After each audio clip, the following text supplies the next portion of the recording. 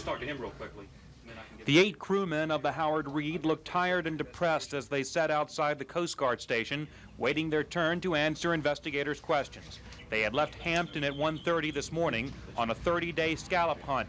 Two hours later, the boat suddenly jarred. The men fell out of their berths. Dean Sander reacted quickly.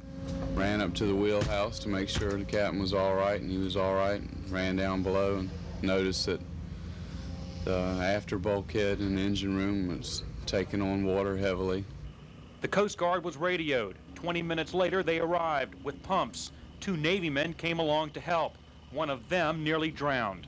yes he was caught in an undersurge when the boat finally did go below he slipped and fell and uh, tried to get a hold of the boat that we were on and lost his grip and uh, was pulled underneath the water and disappeared for about 18 or 20 seconds That sailor's okay now. The fishing boat, though, with a six foot gash in its side, never had a chance. She started going, I think she sunk about five seconds, something like that.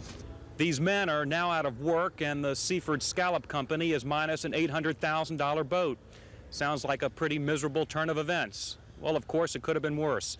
One of the crewmen on the Howard Reed told me everything must have turned out all right because we're still alive. At the Little Creek Coast Guard Base, Joel Rubin, The Daily News.